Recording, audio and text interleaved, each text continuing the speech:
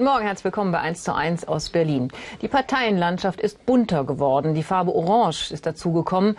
Das ist die Piratenpartei. Bei der Wahl zum Berliner Abgeordnetenhaus hat sie 8,9 Prozent der Stimmen erreicht hier in der Hauptstadt. Und das heißt, sie kann mit 15 Abgeordneten hier in den Senat. Wenn im Bundestag, wenn der jetzt plötzlich neu gewählt werden müsste, dann sagt man ihnen bundesweit auch 8 Prozent voraus. Dann hätten die Piraten aber ein Problem. Dennoch haben sie nicht auf alle Fragen eine Antwort und auch noch nicht so ganz das gehörige Personal dazu. Dann müsste vielleicht hier unser Gast aufrücken in den Bundestag. Herzlich willkommen, Christopher Lauer. Grüße Sie. Sie sind auch gewählt in ja. das Berliner Abgeordnetenhaus. Ähm, und seitdem sind die Piraten jetzt wirklich in aller Munde und ja. Äh, alle schauen auf Sie. Mhm. Haben Sie schon ein bisschen an den Erfolg gewöhnt? Äh, nö. Sollte man sich, glaube ich, auch nicht dran gewöhnen. Ähm, ich denke, das, was jetzt hier passiert ist, ist eine ziemlich einmalige historische Situation gerade. Und jetzt müssen wir, glaube ich, dieses, diese Vorschusslorbeeren, die wir bekommen haben, dieses Vertrauen müssen wir dann halt auch in gute Arbeit umsetzen. Also gewöhnen sollte man sich da aber nicht dran. Und wie muss ich mir das jetzt konkret vorstellen? Äh, Sie sind ja erstmal eine kleine Organisation gewesen, zwar bundesweit schon mhm. organisiert ja. und äh, organisieren sich auch vor allen Dingen übers Netz. Ähm, was, wie, wie läuft das seit Ihrem Wahlerfolg jetzt hier in Berlin? Ja, also wir haben in Berlin tatsächlich das interessante Problem, dass im Grunde genommen alle aktiven Mitglieder des Berliner Landesverbandes jetzt irgendein Mandat haben. Also entweder im Abgeordnetenhaus oder in der BVV. Gleichzeitig. BVV ist Bezirksversammlung. Äh, genau, mhm. die Bezirksverordnetenversammlung. Ähm, gleichzeitig ähm, ist aber jetzt auch unsere Mitgliederzahl wieder explodiert. Wir haben von vor der Wahl so 800, 900 Mitglieder, jetzt 1500 Mitglieder in Berlin. In Berlin. Und bundesweit, äh, bundesweit so, um so 13, 15.000 mhm. jetzt. Also es äh, steigt gerade wieder an. Das heißt, mhm. es kommen viele neue Leute ähm, nach. Und es wird jetzt, denke ich, die große Aufgabe sein, diese Leute zu integrieren äh, in die Strukturen der Partei. Mhm. Ja. Jetzt gab es ganz am Anfang ein bisschen Diskussion, auch weil ja Transparenz das Stichwort ist, wo Sie sagen, wir wollen alles irgendwie ja. ins Netz stellen, die Leute sollen ja. beteiligt sein, wir wollen das nicht im Hinterzimmer. Äh, mhm. Funktioniert das? Das funktioniert, wenn man sich darüber Gedanken macht, äh, was Transparenz in dem konkreten Fall bedeutet. Ähm, man darf es sich nicht zu einfach machen und Transparenz immer als so einen diskreten Zustand betrachten. Äh, also Entschuldigung für das Wort. Also als einen Zustand ja, Transparenz ja oder Transparenz nein weil dann komme ich ganz schnell in so Situationen, wo meine Ideale und meine Prinzipien in Frage gestellt werden, weil ich nicht mehr in der Lage bin, sie aufrechtzuerhalten und dann sage ich im Zweifelsfall, nee, das schmeiße ich jetzt über Bord. Das heißt, ähm, konkreter Fall, zum Beispiel bei Personalentscheidungen. Da ist es total wichtig, wenn wir zum Beispiel auch in der Fraktion einfach mal die Gelegenheit haben, in dem Moment, in dem es um eine Personalentscheidung geht, ähm, hinter verschlossenen Türen zu tagen. Das bedeutet aber äh, nicht, dass wir dann dort äh, im, im, im Kämmerlein irgendwie den Untergang des Abendlandes planen oder so, sondern wir reden einfach offen damit. Und Transparenz. Aber dann, diesem, dann nee, machen Sie doch schon einen Kompromiss wieder. Nee, das ist kein, das ist kein Kompromiss an der Stelle, weil mhm. ich bin danach ja trotzdem noch in der Lage, ähm, die Entscheidungen, die dort getroffen worden sind, so zusammenzufassen, dass jemand, äh, äh der nicht dabei war, nachvollziehen kann, was dort äh, passiert ist. Mhm. Ist das jetzt so entschieden oder ist das nur Ihre Meinung? Nö, wir haben in der, äh, wir haben jetzt in unserer Satzung für die für die Fraktion haben wir das ja drin, dass wir auch nicht öffentlich ähm, tagen können.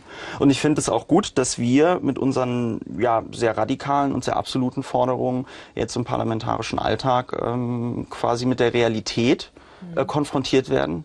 Und mir persönlich ist es sehr wichtig, dass wir dann halt auch sehr intensiv darüber diskutieren, weil ich möchte nicht, dass uns sowas passiert wie zum Beispiel den Grünen damals, die immer gesagt haben, wir wollen Frieden, wir wollen Frieden und nie Krieg.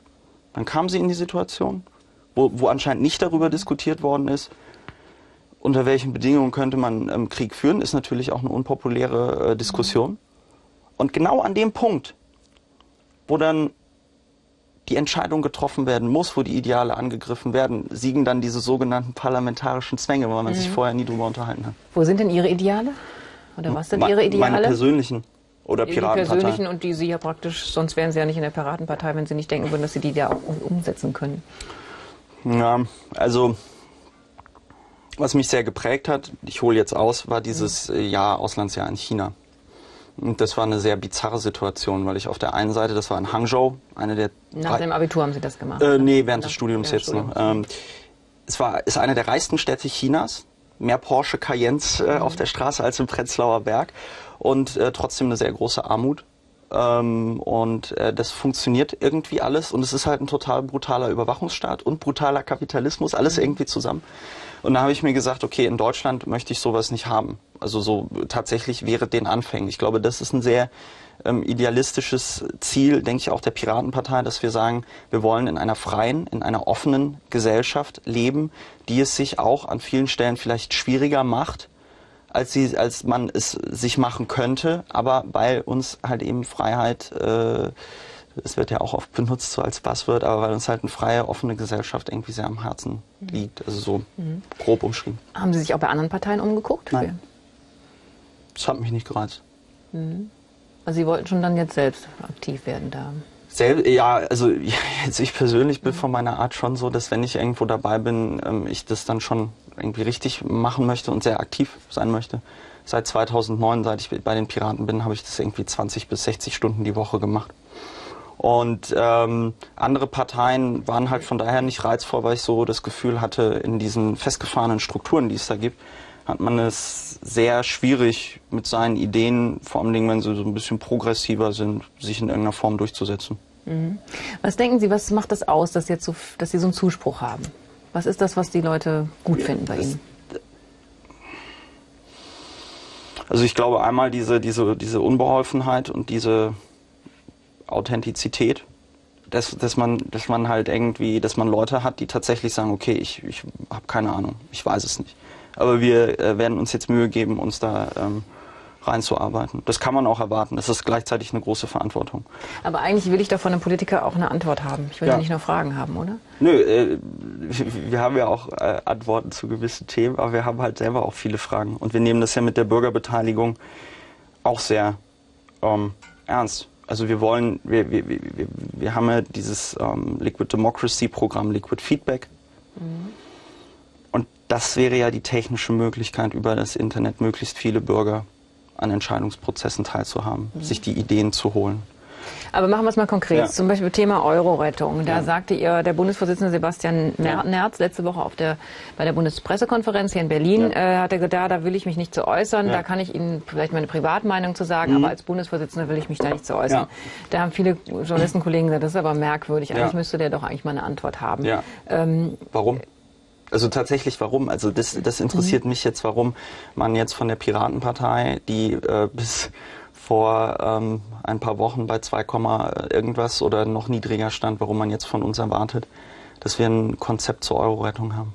Ja, vielleicht nicht unbedingt ein Konzept, aber doch eine Meinung wenn man jetzt äh, mitmachen will, der, wenn man sich so bei der Bundestagswahl ja. ähm, zur, äh, zur, Wahl stellen ja. möchte, dann möchte ich als Wähler doch wissen, ja. wenn die da sitzen, was entscheiden die retten denn da? Retten die den Euro oder retten die Ja, wie hätten die jetzt, wie hätten sie jetzt ja. abgestimmt letzte Woche, vor zwei Wochen? Also meine persönliche Meinung an der Stelle ist, äh, ich glaube, wir sind alle schon Europäer und finden das auch alle sehr wichtig, dass es Europa gibt und da gehört der Euro halt dazu. Ja.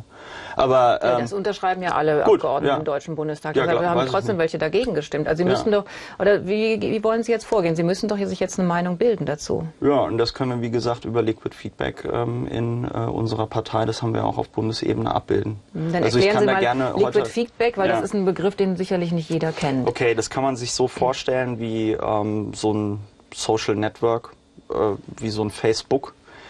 Jeder hat nur einen Account, und zwar jeder in der Piratenpartei. Das ja? waren jetzt schon so viele Fremdworte. Und ja, es gibt auch eine Menge leid. ältere okay, Zuschauer beim Westdeutschen Rundfunk. Ja. Was ich mich, was ich mich, äh, stellen wir uns mal ernst um.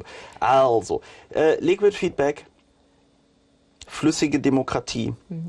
ist der Versuch, eine repräsentative Demokratie, also das, was wir jetzt haben, ich mhm. wähle Repräsentanten und eine direkte Demokratie ineinander übergehen zu lassen. Mhm.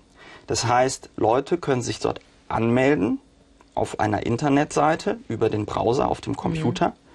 Und dann können die über die Tastatur dort Texte eingeben, wie zum Beispiel auch bei der Wikipedia. Ich glaube, mhm. die Wikipedia mhm. kennen ja die meisten. Also Kommentare und Ihre Meinungen? Ähm, ja, es ist ein sehr striktes System. Wir haben da nicht so Diskussionen, wie man das vielleicht aus irgendwelchen Foren mhm. oder sonst was kennt, sondern ich schreibe da irgendwas rein.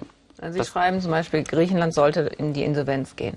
Und genau. dann können sich Leute. Also ich werde das natürlich nicht nein, reinschreiben, da muss ich jetzt aufpassen, ja, sonst. Okay, nein, ja, also, also würde jemand schreiben, ja, Griechenland geht, genau. soll in die Insolvenz gehen genau. und dann versucht man ein Meinungsbild zu genau. bekommen. Und dann schreibe ich rein, als Alternative und diese Alternativen stehen gleichberechtigt nebeneinander, also auch auf dieser Seite.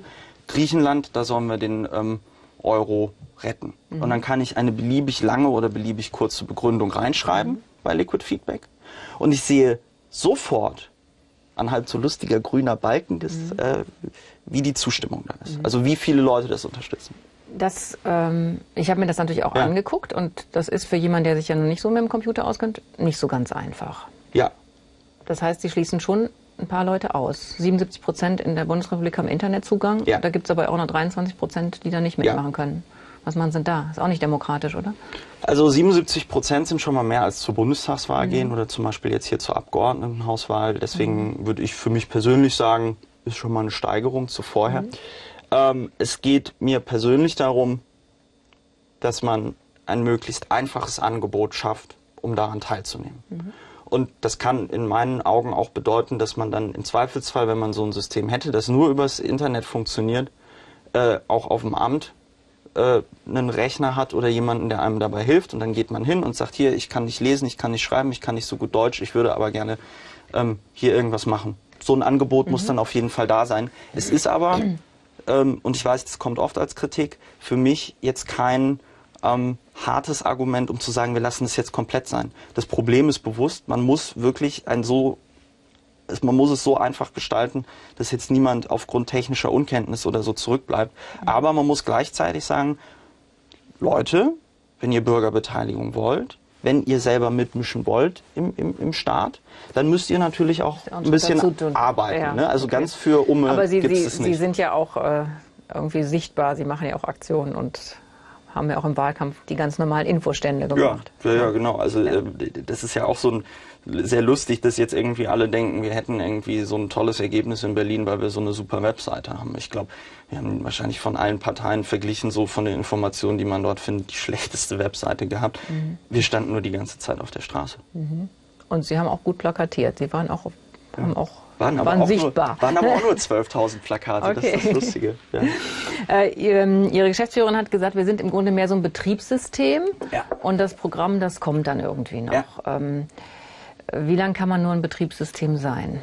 Oder ist das wirklich so eine, ist das jetzt vorläufig oder sagen Sie, das ist eben, eine, so sind wir, werden wir auch immer sein? Ich glaube, es sind, es sind zwei Aspekte, die der Piratenpartei an der Stelle ganz wichtig sind. Einmal wollen wir natürlich unsere Themen reinbringen.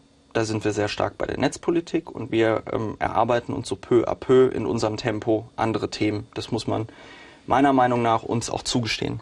Ähm, gleichzeitig, und ich denke, das ist der Teil mit dem Betriebssystem, geht es halt auch darum, den Stil, die Art, wie Politik gemacht wird, zu verändern. Und ähm, das ist einmal sowas zum Beispiel wie das Liquid Feedback, was ich gerade beschrieben habe. Das ist aber auch zum Beispiel, dass man irgendwie sagt, okay, wir haben sehr viele Unterschiede in den Parteien, wir haben aber auch gleichzeitig sehr viele Über Überschneidungen. Es wäre mal an der Zeit zu gucken, dass man vielleicht auch, wenn man in der Opposition ist äh, in der, und mit der Regierung, bei sachbezogenen Themen, wenn man sagt, wir sind uns da alle einig, äh, dass man es dann auch einfach ähm, gemeinsam irgendwie ähm, beschließt. Also auch bei Sachen, wo es jetzt nicht nur um sowas Spektakuläres wie ähm, die Rettung des Euros irgendwie geht. Wie- Aber jetzt machen wir es nochmal konkret weiter. Ja. Also es gibt jetzt eine Mehrheit, sagen wir mal, die dafür ist, ähm, den Griechen weiter Geld zu geben. Mhm. Ähm, und jetzt sitzen in ihrem Abgeordnetenhaus oder im Bundestag dann in dem Falle jetzt sagen wir mal 100 Abgeordnete Mhm. und müssen die dann so entscheiden, wie die Mitglieder entschieden haben, also dieses sogenannte imperative Mandat, oder darf jeder entscheiden, wie er dann lustig ist? Mm, Es gibt, es gibt ja kein imperatives Mandat aus gutem Grund. Ähm, auf der anderen Seite nehmen wir diese Sache mit der direkten Demokratie und dem Liquid Feedback oder Liquid Democracy sehr ernst. Das heißt, Abgeordnete, und das werden wir jetzt auch in Berlin erleben, werden doch sehr stark angehalten sein, sich an die Entscheidungen, ähm, die dort getroffen werden, zu halten. Oder, und das gestehe ich jedem ähm, Abgeordneten auch zu, ausführlich zu begründen, warum man ähm, sich nicht so entschieden hat, wie es sich zum Beispiel eine Partei oder äh, jemand anders an der Stelle gewünscht hat. Ähm, aber das muss dann eine bessere Begründung sein ähm, als äh, parlamentarische Zwänge oder so. Ja, aber trotzdem, das Problem ist ja, Sie, wenn Sie in dem Moment, wo Sie Mitglied des Parlaments sind, mhm. haben Sie genau die gleichen Zwänge wie alle anderen Parteien. Ja. Und wie wollen Sie dann noch diesen Anspruch behalten? Wir sind eine andere, wir sind eine viel transparentere Partei, bei uns können alle mitmachen. Bei den Grünen hat man es mit der mhm. Basisdemokratie ja auch sehr ernst genommen. Ja. Also wie wollen Sie diesen Anspruch behalten? Also wäre es nicht sinnvoller, wenn Sie sagen würden, wir gehen gar nicht in die Parlamente, wir machen das irgendwie anders? Wieso wäre das sinnvoller? Ja, ist die Frage, weil man dann. Ist nicht sinnvoller. Also ich habe, ich kenne zum Beispiel Leute, ähm, die in Berlin, die sind vom, die sind Jahre, äh, Jahr, Jahrzehnte lang im CCC aktiv gewesen. Das ist was? Chaos Computer Club, mhm. Entschuldigung, das ist mein, mein Fachdings. Äh, also die waren im CCC aktiv, sind noch immer im CCC aktiv, sind jetzt auch in der Piratenpartei aktiv. Die sagen, die Sachen, die wir im CCC äh, seit Jahren irgendwie gefordert haben, zum ersten Mal, seit die Piratenpartei mit den zwei Prozent bei der Bundestagswahl war, ähm, werden die auch von der Politik ernst genommen. Vorher mhm. waren wir da nur Bittsteller, jetzt bekommt unsere äh, äh, Meinung, unser Anliegen auch an alle Parteien dort irgendwie äh, äh, Gehalt. Mhm. So, das heißt, die Währung in der Politik anscheinend funktioniert, sind Prozente und Prozente mhm. bewegen Positionen und deswegen ähm, steht es natürlich ähm, für uns, glaube ich, nicht mehr zur Debatte, dass wir jetzt eine außerparlamentarische Opposition irgendwie mhm. ähm, organisieren ähm, ähm, äh, in irgendeiner Form. Denn, und das merke ich ja selber, ich habe zwei Jahre lang im Grunde genommen dieselben Dinge gesagt. Vor zwei Jahren hätte ich zum Beispiel nicht hier gesessen, mhm. aufgrund mangelnder Relevanz. So, jetzt haben wir 8,9 Prozent in Berlin. Mhm. Das gibt uns Relevanz. Mhm. Und nochmal zu dem Thema parlamentarische Zwänge. Und ähm, ich glaube, wir müssen offen damit umgehen. Wir müssen auch offen, und das ist ja auch diese Sache, die wir am, in der Pressekonferenz direkt nach der Wahl gesagt haben, diese Blackbox Parlament, dass man nicht versteht, was da eigentlich passiert, lüften. Mhm. Ähm, Bitte. Ja. Entschuldigung. Aber versuchen ja. wir es nochmal mit den, wenn Sie jetzt in, ähm, also Berlin ist ja, kann ja jetzt so ein Testlauf werden. Mhm. Wo gibt es Punkte, wo Sie sagen, also Sie haben ja gesagt, bedingungsloses Grundeinkommen, Sie wollen ja. freie Fahrt hier für, die öffentlichen, für das öffentliche Nahverkehr. An welchen Sachen wollen Sie sich messen lassen? An welchem Erfolg? Das ist eine gute Frage. Das ist eine gute Frage. Mhm. Ich glaube, ähm, also ich für mich persönlich möchte halt einfach nach fünf Jahren sagen, okay, ich habe für mich ordentlich gearbeitet besten Wissens und Gewissens. Ich glaube, wir müssen, wie gesagt, diesen Anspruch, den wir dort erhoben haben mit der Transparenz, mit dem Parlament erklären, ähm, dem müssen wir gerecht werden. Aber auf der anderen Seite ist mir natürlich auch klar, dass, ich, dass wir mit 8,9 Prozent, jetzt wahrscheinlich als Oppositionspartei, mhm. ähm, wir werden nicht in Fundamentalopposition gehen, aber natürlich die, die, die Möglichkeiten, das, was in unserem Programm jetzt steht, tatsächlich auch in die Tat umzusetzen, ist ähm, geringer, als wenn wir in der Regierung sind. Mhm. Wir haben in Mit wem sehen Sie da Ihre größten Schnittmengen? Mit welcher Partei? Ähm, da arbeiten wir im Moment gerade ja, dran. Ich habe da so ein Wiki aufgesetzt, dass wir mal die Programme miteinander vergleichen. Ich denke, wir werden jetzt, wenn wir die Situation in Berlin haben, werden, dass wir möglicherweise äh, Rot-Schwarz bekommen. Werden wir uns auf jeden Fall ähm, mit, mit ja, auch allen Parteien gerne zusammensetzen und gucken, wo sind da Schnittmengen, was kann man irgendwie gemeinsam umsetzen. Die Grünen waren ja ganz offen, haben gesagt, herzlich willkommen. Ja. Sehen Sie da, ist das eine Partei, weil die auch so ähnliche Anfänge vielleicht hatte, wo Sie sagen, mit denen, da ist es irgendwie, da funktioniert es am einfachsten? Ähm, weiß ich nicht. Es gibt, glaube ich, viele Sachen bei den Grünen, wo wir sagen, nee, das äh, finden wir, finden wir nicht so toll. Es gibt aber wahrscheinlich auch viele Überschneidungen. Ähm, ich denke, man muss dann im Parlament irgendwie gucken, inwieweit wir da bereit sind, zusammenzuarbeiten. Mhm. Es wäre auf jeden Fall aber sinnvoller, wenn man sich da in irgendeiner Form gemeinsam organisiert, als wenn jeder dafür für sich alleine mhm. irgendwas macht. Sie selber haben, wollten ja auch Bundesvorsitzender werden, ja. sind aber äh, unterlegen und Fraktionsvorsitzender sind Sie auch nicht geworden. Ja. Jetzt haben manche irgendwie, wenn man das so Berichte über Sie liest, äh, dass Sie eben ein bisschen zu selbstdarstellerisch waren. Ja. Ähm, ist das was, was keinen Platz hat in der Piratenpartei? Ja. Und finden Sie es gut? Muss ich mit leben. Mhm. Also ich meine, was ich immer sehr, das ist ja jetzt eine sehr persönliche Frage, aber ähm, es guckt uns ja, wir sind ja hier unter uns. Ähm, das ist hart. Das sind, das ist persönlich, ist das, ist das, ist das kein angenehmes Gefühl. Was mich am meisten ärgert, ist, dass ich anscheinend tatsächlich nicht in der Lage bin, zu transportieren, warum das meiner Meinung nach auch gut sein könnte für, für eine gesamte mhm. Partei, also für die Piratenpartei, wenn ich eine solche Position bekleide. Ähm, ja, das erdet, ich muss damit leben. Mhm. Auf der anderen Seite gibt es dadurch natürlich auch eine gewisse Narrenfreiheit, weil ich meine, so Ämter binden natürlich auch. Das stimmt. Und ähm, ist, ich meine, ist, Sie sind ja erst am Anfang der Piratenpartei, da kann ja, noch was kommen. Ne? Ja. Ähm, es kommt nicht so viel, es kommen nicht so viele Frauen zu Ihnen. Ja. Also von den 15 Abgeordneten ist eine Frau. Ja. Und ähm, auch bundesweit sieht es da nicht so gut aus. Warum haben die Frauen keine Lust auf die Piratenpartei? Das ist eine gute Frage. Also wir dürfen es uns da tatsächlich nicht zu einfach machen. Wir sagen immer so, ja, bei uns ähm, ist alles gleich. Ist alles gleich und jeder kann ähm, mitmachen. Und es ist auch tatsächlich so, das kann ich jetzt aus eigener Erfahrung sagen, wenn denn dann Frauen kandidiert haben an irgendeiner Stelle, dann wurden sie ähm, aufgrund der Tatsache, dass sie eine Frau sind, bevorzugt. Das kann ich so mhm. aus Erfahrung sagen. Also ist doch das, nicht alles gleich, ne? Das, genau. Und ähm, das heißt, ähm, es sind verschiedene Probleme. Ich glaube, erstens ist es natürlich ein hehrer Anspruch und den sollten wir auch weiter vorführen, zu sagen, alles gleich. Ähm, wir, haben, wir haben da ein sehr ausdifferenziertes Familien- und Geschlechterprogramm und es gibt tatsächlich auch sehr viele Mitglieder in der Partei, die für sich, tatsächlich, für sich persönlich tatsächlich sagen, das Geschlecht spielt bei mir mhm. keine große Rolle. Wenn ich mir jetzt aber, da muss man nur in einen, in einen, in einen Zeitschriftenladen gehen, die Covers ähm, von Zeitschriften angucke, dann denke ich, ist klar, wo das gesamtgesellschaftliche mhm. Problem ist. Ja, wenn ich mir Werbung, weiß ich nicht, Lego-Technik. warum versuchen steht, Sie nicht Frauen zu fördern? Was? Warum versuchen Sie nicht Frauen ähm, zu fördern?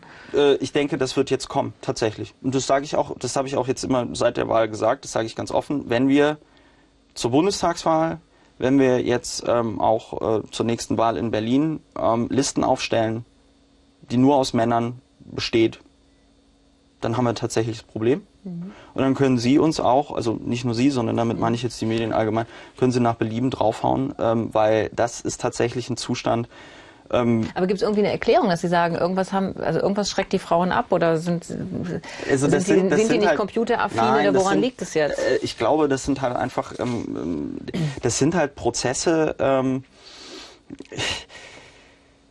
die Piratenpartei war ja, und das muss man ja auch ganz offen sagen, oder ist noch immer für viele Leute eine Nischenpartei. Mhm. Ja, das heißt, die Leute, die sich dort ähm, ähm, rekrutieren, kommen dort auch vor allen Dingen über persönliche Kontakte. So. Und wenn dieser Haufen Piratenpartei jetzt von einem Haufen Nerds gegründet wird, die ja, keine Freundin haben? Die, doch, viele von denen haben eine Freundin, aber äh, oder einen Freund.